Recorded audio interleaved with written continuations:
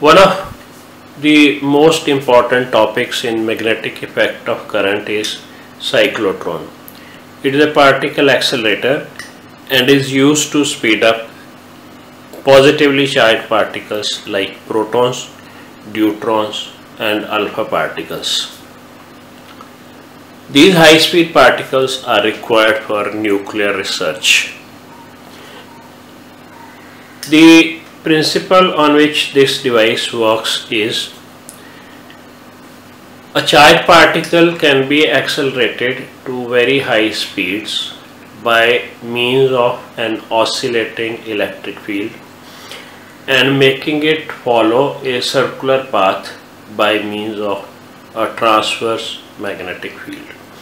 The transverse magnetic field means a field perpendicular to the plane of motion of the charged particle.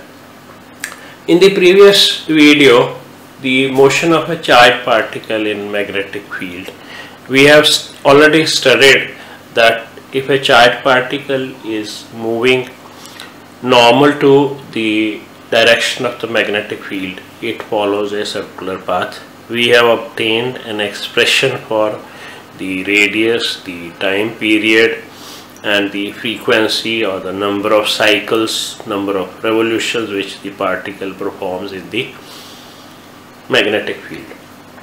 You'll do well to revisit that video before you try to understand this cyclotron.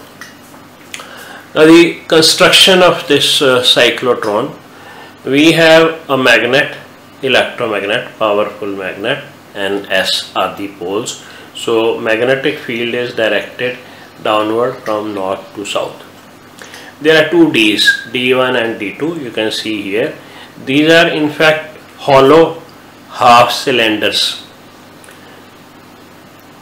separated by a small distance and called D's because of the shape as you see from top a hollow half cylinder will look like a D. In the center we have the ion source that is the source of the particles to be accelerated maybe the protons that is hydrogen nucleus or alpha particles or any other particle.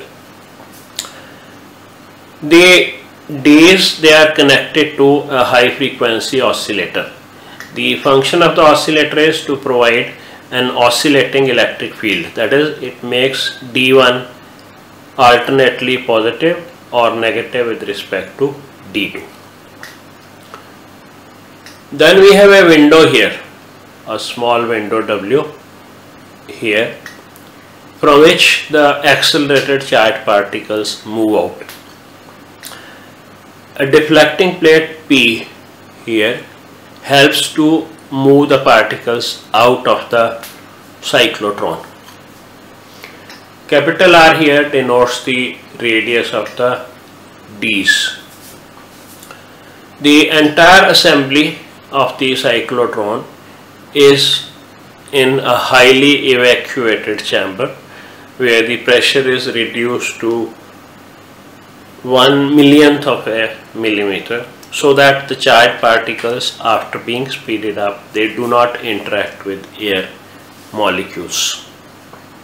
Now the working see a charged particle once produced here let's suppose it's a proton when it is produced say it finds D1 negative if D1 is negative the particle that is proton will be pulled by D1 and it will be speeded up. Enters D1 with a high speed. Inside D1 is a hollow conductor. The electric field effect becomes zero. Only magnetic field remains. Therefore, the particle will follow a circular path and it will complete a semicircle. Once it completes a semicircle and moves back in the gap here out of D1 in the gap, the polarity of the D is reversed. That is D2 becomes negative and D1 becomes positive.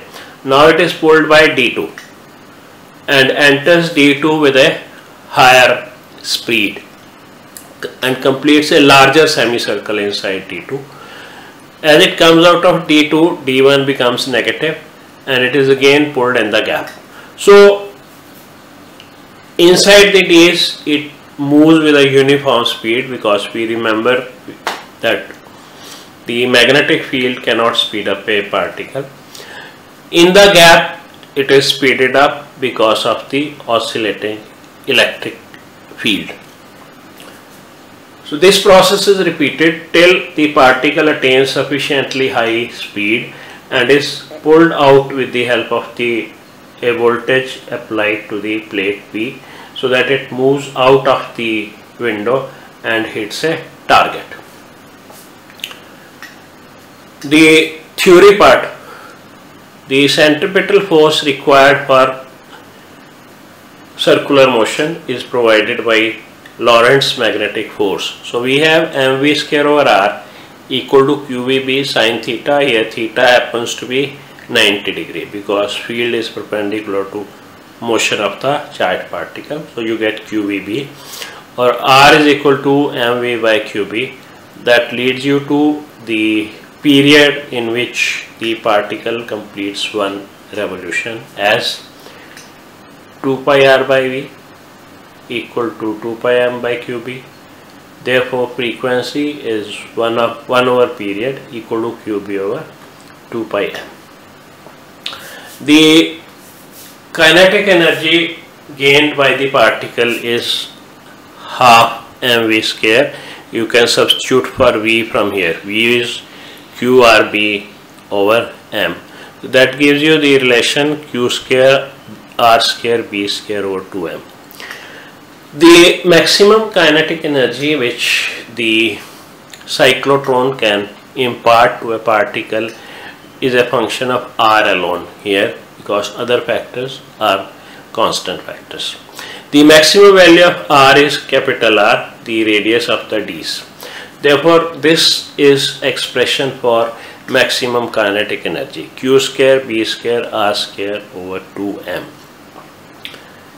There are some limitations of this device that is cyclotron. One, the variation of mass has not been accounted for. We know relativistic variations in mass at very high speeds attained by the particle which are comparable to speed of light. We have this variation in mass. m naught is rest mass or the mass of the particle when it is at rest m is equal to m naught over 1 minus v square the speed of the particle over c square. So well, as the particle gains very high speed this frequency which is resonating frequency or magnetic resonating frequency will have to be altered. This cyclotron has no arrangement for varying the frequency. Secondly, it cannot speed up the electrons because electrons being very light they gain very high speeds and because of this above equation they go out of step with the accelerating field. By out of step we mean the particle coming in the gap and the opposite D repelling it. That is what we mean by out of step. So it cannot be used to step up the electrons. The uses of the cyclotron are you can use it for study of nuclear structure because high speed particles can be made to interact with the nucleus cause nuclear reactions which give us a pointer to the structure of the nucleus. It is used to prepare radioisotopes which are required for radio medicine that is the diagnostic purposes as well as curative purposes. The particles which we get here, particularly the protons, they are used to speed up neutrons for nuclear reactions because the high speed protons can be made to collide with the neutrons to provide high speed protons.